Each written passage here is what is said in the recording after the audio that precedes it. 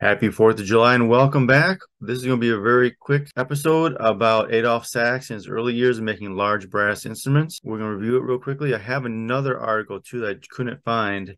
I was making series two of this. It shows his early years also, but it also goes over how, how, how he tried to change the unions they had back there and the working methods and everything and try to change a whole bunch of things about the way workers worked in the industry, which created a kind of revolt against them in his early years. So that'll be a different episode. So right now we're gonna get right to this. As I mentioned, this is in the ITEA journal, uh, volume 38, number three, as you can see, spring 2011, and the historical instrument section. This was a research article by, I believe, someone getting their PhD. And let's go ahead real quickly. The research was from a Clifford Bevan uh, Miss Eugene Mitroulia. Oh, yeah, she, she was a doc, doc, doctoral candidate at the University of Edinburgh. Anyways, this essay was about the sax tromba, and it shows some of Adolphe Sax's large brass instruments that he used to make before the saxophone. And this was for the 2012 Bevan Award. And so what we have here is Miss Mitroulia measuring out a large brass instrument. Look at that thing; it's gigantic. I don't know how tall she is, but look look at the door in the background. The top of the bell is at the top height of the door. Well, that's pretty tall. 80 inches is um over seven feet tall. So if you're playing this thing, it must be really tall. or you're sitting down. But all the tubing apparently was 26 feet long, approximately. And she measured this out at the Henri Selmer Paris Museum. In here mentioned he was a Belgian maker, spent most of his life in Paris.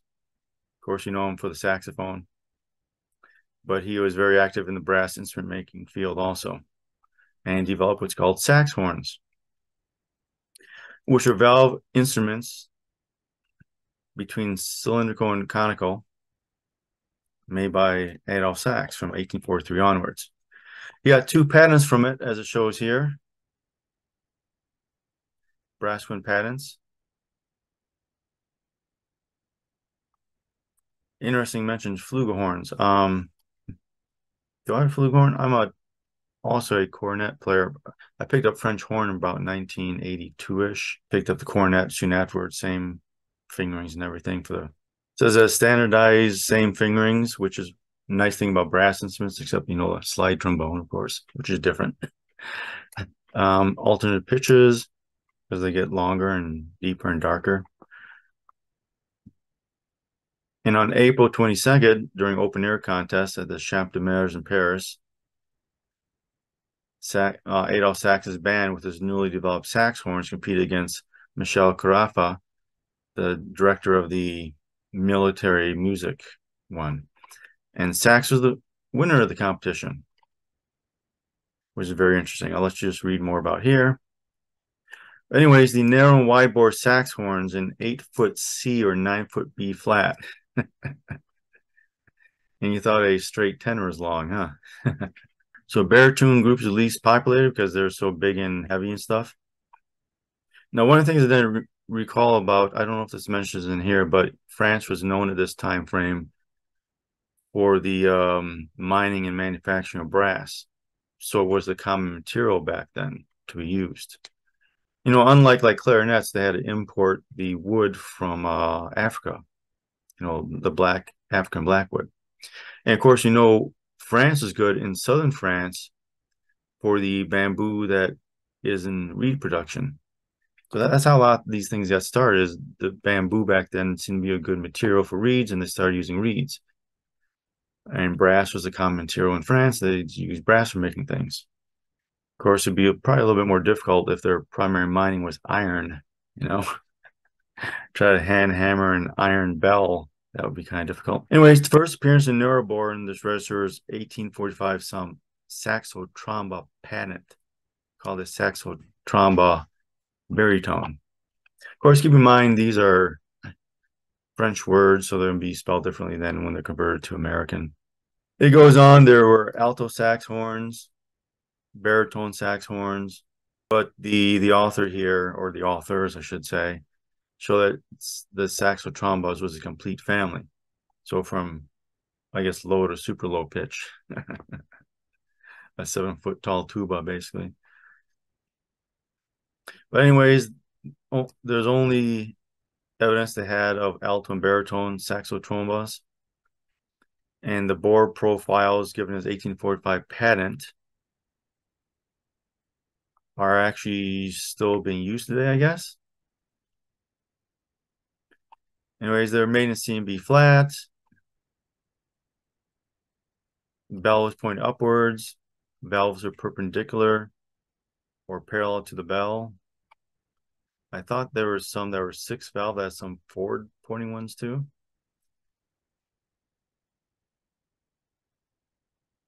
And the tubing formed two turns between the valve and bell section. And it was good for musicians in the cavalry. I guess if you're if you're riding a horse and carrying a seven foot tall saxotromba tuba instrument, I guess you needed a horse to uh, carry it. Oh, and look at this. Prevented the horse's head from being hit by the instrument's bell. of course, as you're running through the cavalry, you're knocking off people running too. so there's apparently few of these in existence. Um, oh, here we go. Yeah, there were some six independent valve and pavilion tournée turn bells one and a movable bells. Now, movable bells you see a lot on sousaphones nowadays, and also French horns, two-piece French horns and movable bells. None of the surviving baritones were, is made with a Perronnet valves. Here's some diagrams, early diagrams. You can see the turns they have between the valves.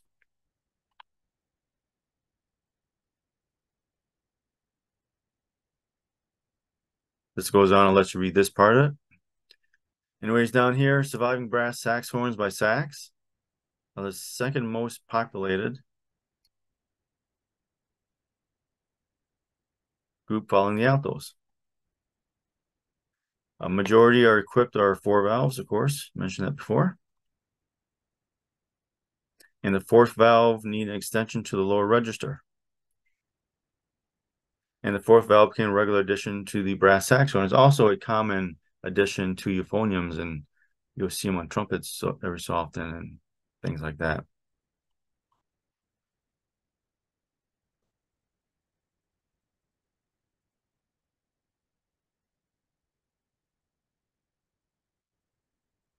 Goes on mentioning um, Sax's own method. Saxophones mentioned basses with five valves, which according to Sax had accuracy in the lower register, not achieved with the fourth valve.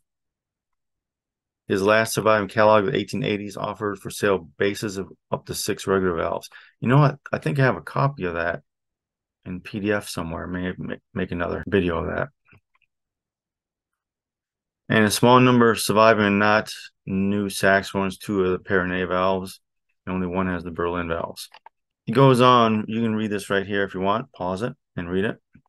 Let's look at this horn here with a forward facing and six valves three vertical, three horizontal position pistons, and a small valve so you don't knock over the person next to you. Look at all the tubing, how it just goes all over the place. Reminds me of a French horn. By the way, Selmer Paris has a French horn where the the uh I don't want to say the valves are backwards, but the tubing's like backwards. I, I can't, uh, I'll get a picture of that sooner or later. Anyways, this was a sax horn in, in C, B flat with six independent valves. Contrabass sax horns, 12 foot, 13 foot E flat, 16 and 18 foot B flat. 18 foot, I tell.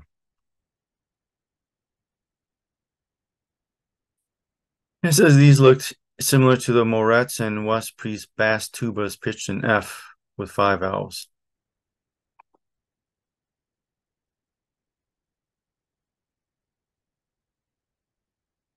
Berlioz, an article in Journal 1844, wrote that Sax imported a, the tuba from Berlin and imported the instrument's compass. And he made it E flat instead of F and perfected his valve section. And added crooks. And even Berlioz praised those instruments and their sound qualities, which is superior to the, I have no idea what that even is. If you have an idea, put it in the comments. Like, totally clueless. Now we have another illustration here. Look at this. That's one big horn. Really tall too, isn't it? I guess to be played while seated or on a horse. and this was the earliest known surviving contrabass sax horn E flat in 1845. This is a picture from Edinburgh University in their historic musical instrument inventory. Photographs by Raymond Parks. There's no known surviving contrabass and saxon 12 foot. It's probably melted down for its brass content. Anyways, uh, all his instruments are pitched 13 foot E flat and for sale in both F and E flat. Not very many of them, I guess, were known to survive. Think of how big the case and heavy the case was, if it had a case. See what else we have here. 1855, the E-foot sax tuba, patent sax, 1852.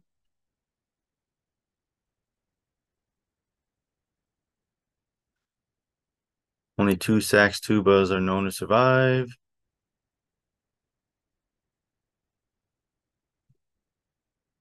Eighteen forty-three forty-five patents including contra bass sax horns.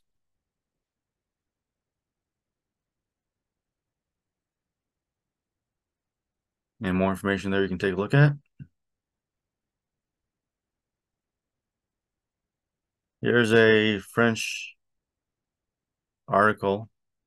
I don't read French, so I'm no help here. But sax horn in B flat in B soprano, 55 francs. I guess that says cornets, cylinders, and pistons. Sax horn in B and in B flat, I guess. Sax tromba and sax horn. Sax horn baritone saxhorn bass, four cylinders in B, saxhorn contrabass in B for 100 francs, trumpete harmonic or saxophone, 200 francs. Wow. Saxophone back then was expensive too. Look at that. And that was 1848.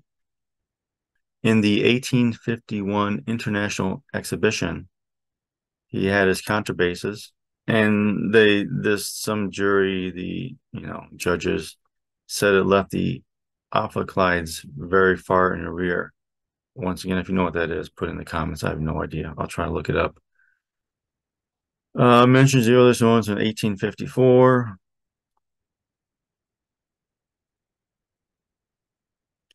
the earlier ones had more elongated form or fewer bends later changed, making them basically more compact and easier to hold. So they're not seven foot tall. and there's no surviving contrabasses by Adolphe Sax after 1867 or the contrabasses after 1868. Look at this big thing. Last known contrabass saxophone in B flat, made of Adolphe Sax in 1868. The Edinburgh collection, once again. Notice the gigantic bore going up and just a small bell lip versus I think the early one had a large bell lip.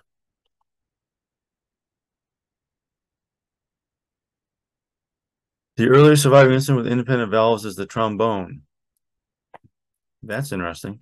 We all know as a trombone is a slide instrument but you can also buy them with valves too. And I think Maynard Ferguson made one famous that had valve and a slide, if I recall, back in the 1980s or 1970s. And you can still buy valve trombones, I think, at least last time I checked, it's been a while. Anyways, the earlier surviving sax horn is in a private collection in Paris.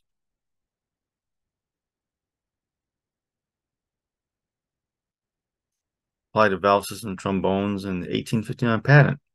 Amazing. And this is interesting. He, he would promote his own instruments through concerts, his own concerts that he had in Sax's Hall. I'm to look it up. Maybe did he have his own concert hall? Huh, interesting. There, Klaus, interesting name there, right? Directed some extracts from Kastner's Livres Partitions played by a regimental band. And there, the intervals, he introduced a trombone and sax horn with independent valves. A lot of interesting things you learn, isn't that? In June that year, military festival students from Sax's saxophone and trombone classes played Musard's orchestra in Pré Catelan. Mentions another long article, July 1864. Continued organizing concerts in his hall where music was performed almost exclusively on the nouveau or new, I assume, instruments. one trumpet, two trombones, bass, sax horns. It's one way of uh, promotion back then. There was no social media back then. There was no cameras, no TV. I guess there's concerts. Two duos for trombone and saxophone. You know, the trombone is the only instrument I've never played. Well, I've never owned. I've never owned a tuba either, but I don't want to own a tuba or a euphonium. But I played those before. I remember I tried a trombone once, I got had short arms back then in high school. So when I had to play the longer sixth and seventh position, I had to turn right. I can just see it in the cassette. Clunk hit the person next to me. Anyways, um, August 11, 1863. Oh, the new trumpets, trombones was to become obligatory in schools of the artillery and infantry bands. Wow, look at all this. So it really made an impact in the way the French music industry was, because mostly instruments were used in military bands and everything. There's more you can read right here. Just hit pause. And next is the Bourdon sax horns. 26 foot. That's a lot of brass, isn't it? In 1855 for the Paris International Exhibition. Says such an instrument survives the Henri Selmer collection in Paris. And there's a reference to another sax horn Bourdon in the catalog Music Adult Sax. Entry number 200 three valves down two towards the bell in one meter. That's three feet, basically. And hasn't survived. Lower pitch. Prove that people of small height can very easily play on big instruments. And that is not the metal that gives the sound in the timbre. Of course, you need a lot of air too. Said it was a kind of monster Ophicleide. Okay, I'm going to look this up real quickly. Ophicleide. Oh, look at this. Looking at Wikipedia real quickly. Conical bore keyed brass instruments invented in early 19th century France to extend the keyed bugle. Huh. The keyed bugle. Look at that. More commonly known as a flugelhorn, I guess. so that's what an ophicleide is. Okay, there we go. And we go on. Gertroyd, 1858, claiming his first one to make brass instruments such enormous dimensions. Conclusions here. I'll let you read this. He developed saxophones, harmonious family instruments in alternate pitches, two instruments per octave, same fingerings, similar acoustic properties. And goes on, surviving hosts have Perronnette valves, majority have Berlin valves. And there were lawsuits between him and his contemporary makers. So he adopted aspects of Perret valves in his saxophons without altering radically the external appearance of his instruments. They had lawsuits back then too, huh? 13 foot E flat, 1850s evolved towards larger bores, more conical bores. Anyways, I mentioned sax horn production dropped 1870s, 1880s, probably because of saxophone production. And it goes on that their extensive use in mixed wind and brass bands was a fact. And that's a couple end notes here. Oscar Comettant, history, Adolphe Sax, list of Adolphe Sax musical instruments. So a lot of good information there. Anyways, that's all I had for today. A real quick overview of, of sax horns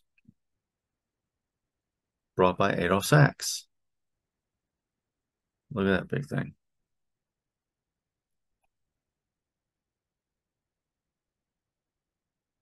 Anyways, I hope you like this. Give a thumbs up, like, share, and subscribe, and we'll see you later.